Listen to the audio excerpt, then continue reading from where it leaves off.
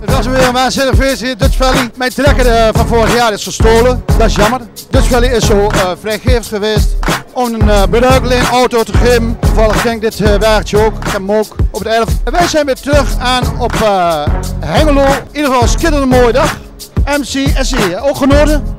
Ja, het is een onwijs lekker weertje hier in de, in de Dutch Valley. Ik zei toch, allochtonen zijn ook welkom op Dutch Valley.